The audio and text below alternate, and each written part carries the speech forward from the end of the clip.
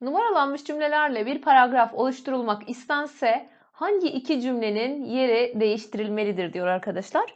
Anahtar kelimeler üzerinden gidip bakacağız. Şimdi bardağın yarısı boşsa size dolu tarafını görmenizi önerenler hep bulunur. Bardağın diğer tarafı boşsa anahtar kelimem bu olabilir.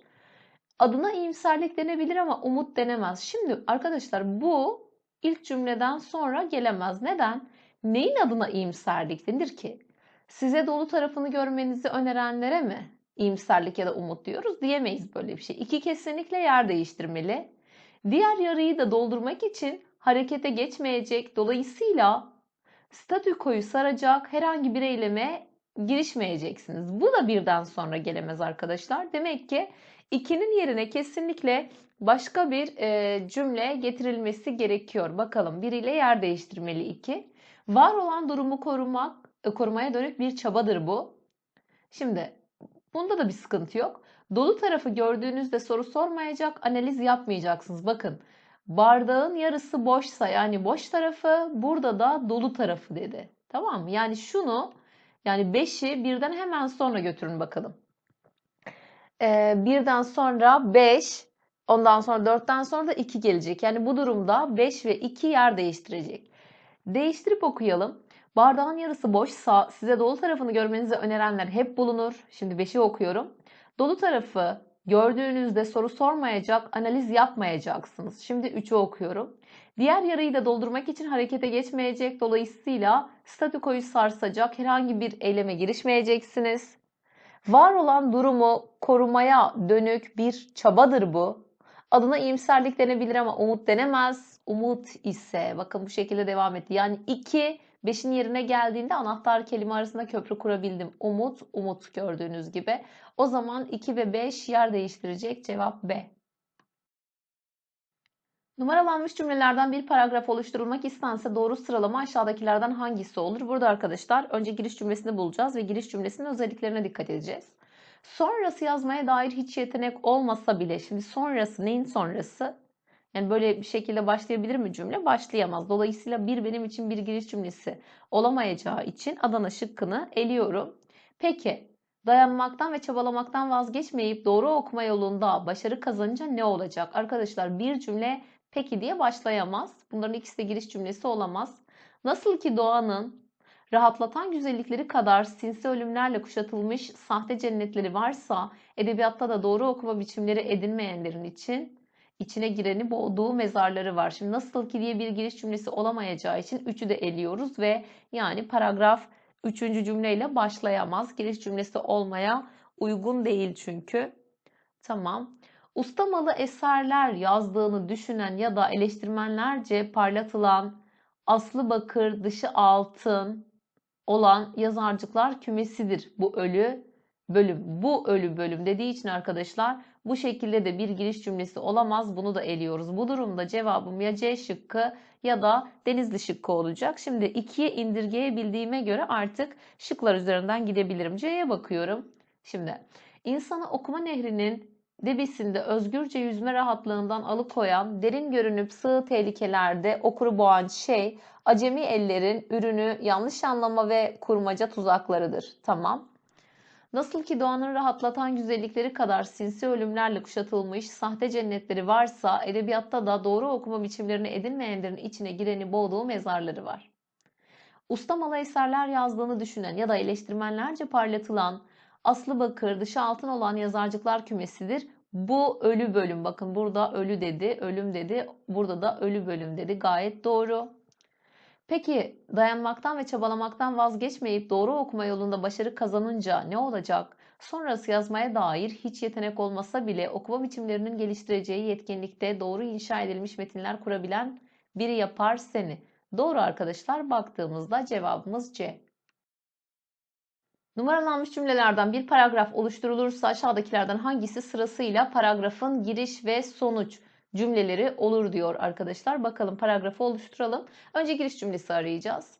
Bu dille yaşadığınız sorundur. Bu dediği şeyin bir öncesi olduğu için giriş cümlesi olamaz. İşte edebiyat. Bu ancak olsa olsa arkadaşlar sonuç cümlesi olur. Çünkü işte edebiyat diye özetleme yapmış. Aslında bu giriş cümlesi olamaz. Herkesin karşılaştığı ama dile dökemediği için bir süre sonra yok saydığı bir meseledir diyor. Ne meselesi? Demek ki öncesi var bu da olamaz. Yazma sürecinde istediğimiz ifadeyi bir türlü bulamayız. İşte bu benim için bir ne olabilir? Bir giriş olabilir. Tamam devam edelim bakalım.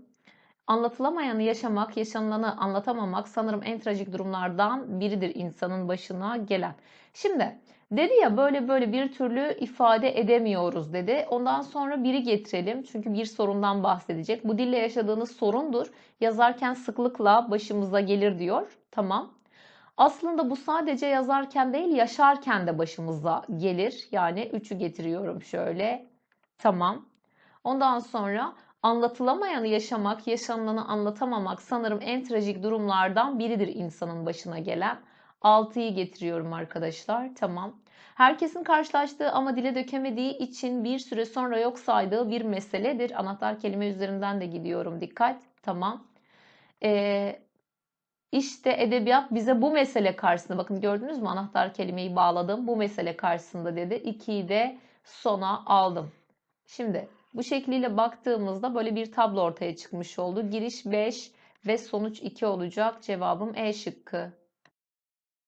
Numaralanmış cümlelerden bir paragraf oluşturulmak istense doğru sıralama aşağıdakilerden hangisi olur?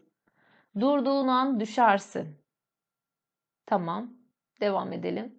Öteki türlü gerekçesi öteki türlü dediği demek ki öncesi var. Yani bu bir giriş cümlesi olamaz. Okumaya ilişkin bu eylem. Bu eylem dediği için bu da bir giriş cümlesi olamaz. Edebiyat okuru bilir ki okumak demek yaşamak e, için her gün bir doz alınması gereken bir ilaç gibidir. Bu arkadaşlar bir giriş cümlesi olabilir. Bunu en başa yazdım. Tamam. Tuhaf, fır dönen bir kütüğün üzerinde denge kurmaya benzer diyor. Bakın ne yaptı? Edebiyat okuru bunu dedi. Bir ilaç gibidir dedi. Sonra başka bir şeye benzetti. Bir kütüğün üzerinde denge kurmaya benzer dedi. Dolayısıyla şöyle 5'i de getirebilirim. Bu durumda arkadaşlar 4 ile başlamayan şıkları eliyorum. Adana gider, Bursa gider, Denizli gider. Devam ediyoruz. Durduğun an düşersin dedi ya kütüğün üzerinde denge kurmaya benzer. Durduğun an o kütüğün üstünde düşersin diyor. Biri getirdim. Tamam. E, okumaya ilişkin bu eylem iyi metinler bulamıyorum bahanesine sarılsa okuru depresyon denizinde su üzerinde tutar. 3. Öteki türlü gerekçesiz bir okurluktan vazgeçme hali mümkün olmaz ve iki arkadaşlar. Şimdi şöyle bir şey ortaya çıkmış oldu. Şunları da azıcık şöyle büyütelim. Evet böyle bir şey ortaya çıktı. Baktığımızda şöyle cevabımız E şıkkı.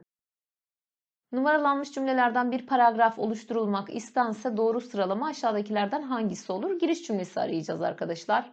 Neticede diyor, neticede diye başlamış. Bu neticede daha çok sonuç bölümlerine doğru yer alır. Paragrafın sonuna doğru. Ya da sokakta, şimdi ya da diye bir giriş cümlesi olamaz bunu da eliyoruz. Edebiyatın bir iyilik, iyi ve güzel olana meyil edilmesine vesile olacak bir duyu kazandırdığı muhakkaktır. Bu bir giriş cümlesi olabilir arkadaşlar. 3 ile başlamayanı eleyebiliriz. Şimdi şöyle elediğimizde aslında cevabımızı bulmuş olduk. Örneğin hangimiz Sait Faik okuduktan sonra yaşama sevinciyle dolmayız ki?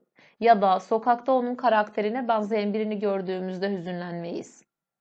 Tamam. Neticede edebi haz bir tür esrikliktir. Tamam.